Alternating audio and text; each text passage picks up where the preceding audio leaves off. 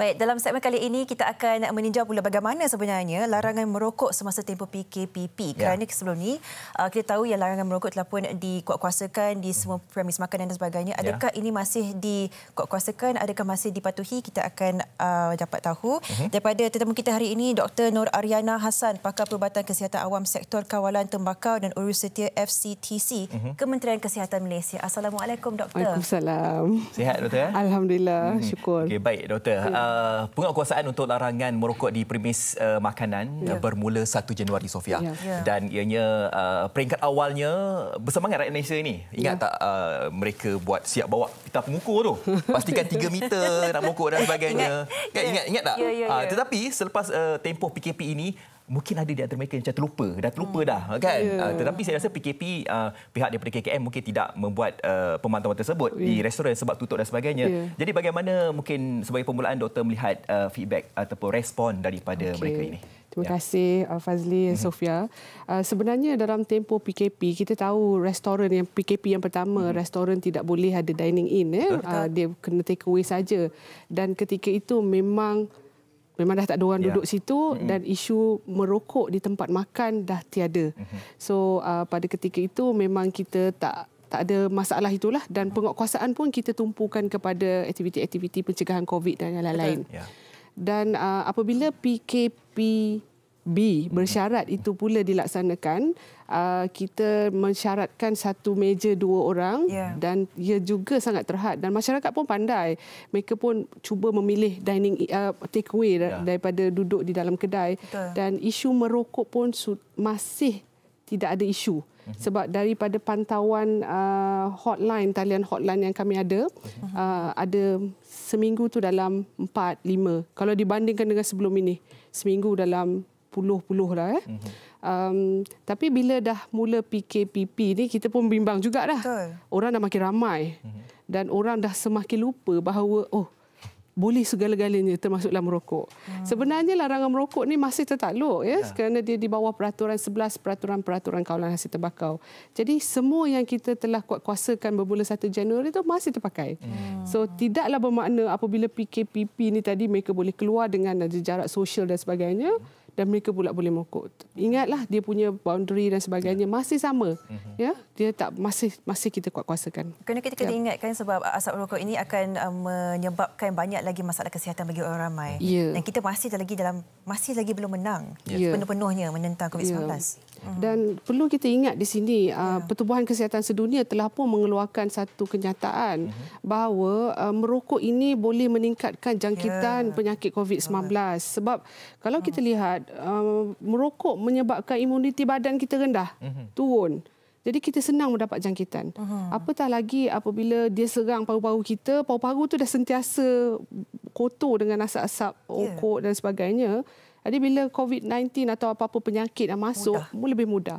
Dan ada kajian yang menunjukkan bahawa uh, dalam paru-paru golongan perokok ni dia mempunyai reseptor yang lebih banyak supaya jadi bila COVID-19 COVID, especially untuk COVID-19 ya dia masuk ke dalam paru-paru tu dia akan mendapat jangkitan yang lebih teruk. Hmm. Ya itu yang kita bimbang dan kita kena pastikan tempoh PKP memang dah tak boleh duduk dalam kedai. Mhm.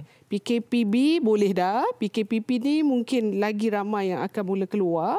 Uh, merokok merupakan satu faktor. Bukan saja untuk COVID-19, segala-galanya. Jadi itu yang kita kena ingatkan pada mereka. Tak gunalah anda kata mereka yang apa multi SOP kan basuh tangan, ya, basuh tangan, tangan apa pakai face mask tapi rokok juga. Masih rokok. Ah, yeah. Ya.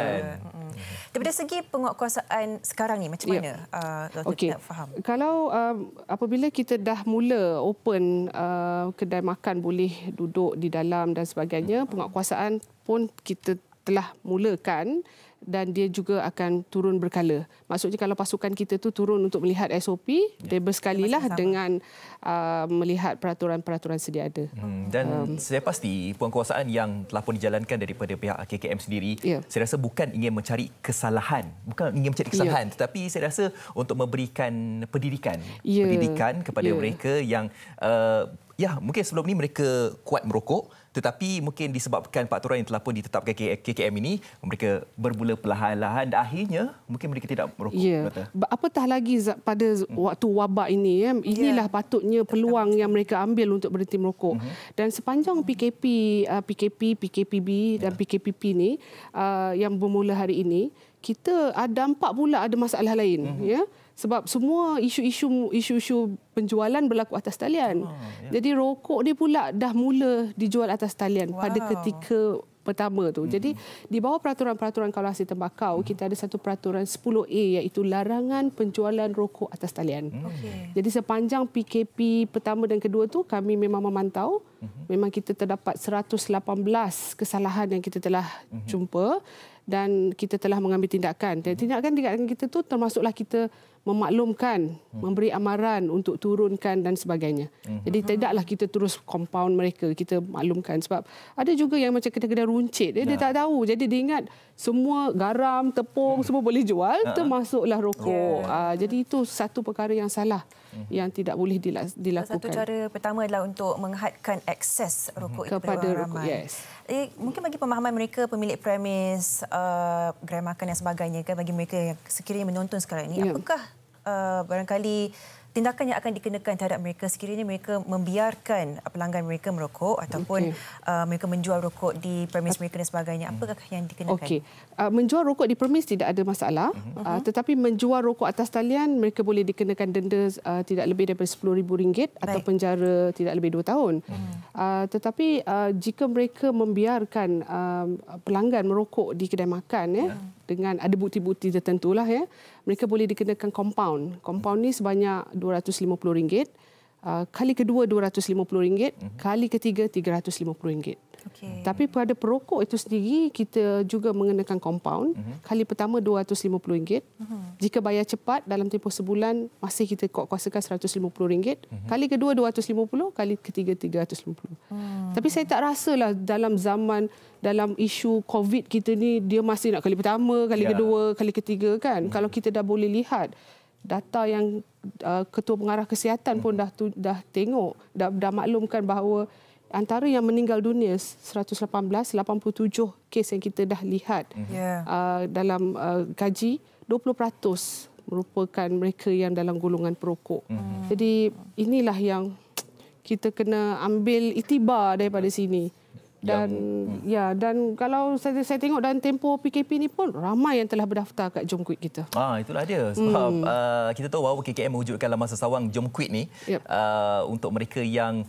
bercadang lah kan yep. nak apa berhenti merokok. Jadi yep. peningkatannya agak ketara doktor. Ya kalau kita tengok dulu sebulan nak dapat hmm. 30 40 tak macam tu lah tak tak berapa. Hmm. Pada tahun 2019 sebabkan larangan merokok kita dapat dalam overall dalam seribu lebih. Mm-hmm. Tapi dalam tempoh PKP ini saja kita dah dapat dalam 795 yang berdaftar. Wow. Ya, dan setiap hari uh, sektor saya telah menerima mereka yang berdaftar untuk diberi kaunseling dan rawatan untuk berhenti merokok. Termasuk yang menggunakan rokok, termasuk yang menggunakan vape.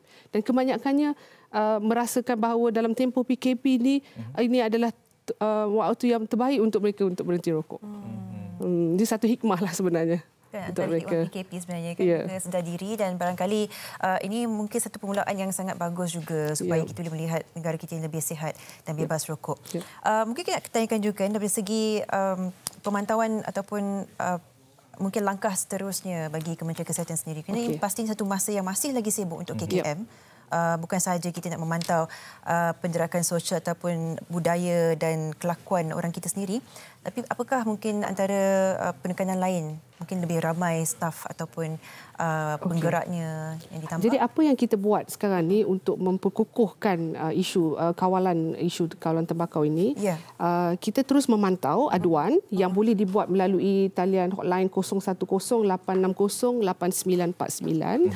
uh, dan kita juga akan kombinasikan sekali uh, peraturan tadi uh, peraturan tadi apabila penguasaan dibuat disekalikan dan kita juga meningkatkan aktiviti-aktiviti uh, promosi melalui atas talian dan macam tadilah saya kata kita menambahkan aktiviti-aktiviti kaunseling berhenti merokok di atas talian. Jadi mereka ni tak payah datang ke klinik. Mereka boleh saja diberi rawatan melalui WhatsApp ataupun talian telefon oleh rakan kongsi MQUIT kita, Perkhidmatan Berhenti Merokok Malaysian Quit Smoking Services. Wow. Jadi perkhidmatan ini inilah yang kita perkukuhkan. Jadi kita uh, tanpa kita tambah uh, uh, staff ataupun kaki tangan, kita mengembangkan dia kepada era sekarang lah lebih kepada online, lebih kepada pemantauan, lebih kepada apa aduan yang kita dapat mengambil tindakan dan barulah kita ke ground untuk melihatnya.